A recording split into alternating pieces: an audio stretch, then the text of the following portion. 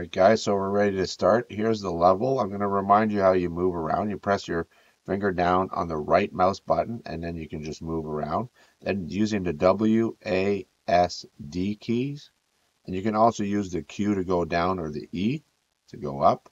And basically we're looking for a spot to put our stage. So we're going to be doing a dance with our character. I really like this spot right here because it's already an open space. I don't need to delete too much stuff. So I just click delete, click, delete. Delete is on the keyboard. And I'm going to just get rid of anything that I might, that might be in the way. Maybe this big rock here might be in the way. I'm going to go down here. I'm going to create a cube. And using the WER key, so W is the move tool. So you can move it down. E is the rotate, which I'm not really going to do, but you can see it gives you 10 degrees, 20 degrees, 30 degrees. Usually 90 degrees is fine, uh, but I'll go back to zero here. And uh, the more important one for this is we're going to flatten the level, and we're going to, whoopsie, we're going to enlarge it from the side. So we want to make it long this is the stage on which we're going to build. And you see I'm still moving around with my WASD key. If ever it's too fast, just change this to 3. Uh, and so whenever you move around, it won't move as quickly. Uh, so I'm going to make this really wide. And I'm going to make this thick. I'm going to hit the W key and I'll drop this.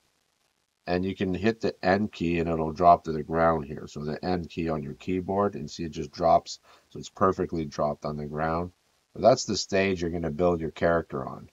So one thing you may want to do, depending on how you film this, is walk around and see what it looks like. You may want to just click on, you know, some of these items. Just grab one here. Uh, can I grab the grass here? So maybe this bush here. Let's say there was a, there's for some reason where you place it, there's like a huge crack or something. Just W E R and enlarge this bush maybe use the Alt key and you can duplicate it. So what, how did I do that? I click it, press the Alt key on my keyboard, and I'll, what I'm going to do is, because there's kind of a problem here, I'm just going to put it here so you don't see that uh, there's kind of a crevice there. So it covers it up. Now we're probably filming mostly from one angle. Now you could also set dress your, your scene. If you like, I want to have this cool little sign in my scene. I'm going to put it over here. Uh, I got this paint tree. I think it's really nice. So you can take a Alt again and just drag this out, you know, set it up uh, so that it looks a little bit nicer. Okay, so that's the first step. So the next step is let's give this a material. So much like I've shown you in the past, set your color. I'm going to give this a color as blue. We're going to be going to get that Mixamo dude in a second. Uh, under starter content, let's give this a color of red because this is where we're going to go get our materials.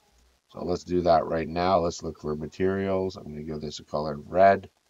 And I'm going to open it and I'm going to take something and put it on. So just click and drag it and see what it looks like. If you don't like it, go Control Z.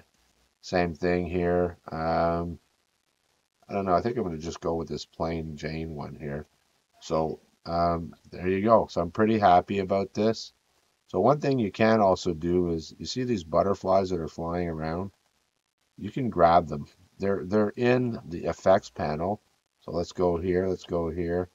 In Polygon Nature under effects, there's a bunch of cool things that you may want to go and get. Uh, for example, I'm going to drag a butterfly on here so that I see butterflies when I'm dancing. Uh, maybe I want to go and get snow or smoke. So put that in there. Now I can trigger these and I'll be doing this in another video. So for now, let's just uh, go with this first part of the video. So I'll stop the video here and I'll continue in the next one.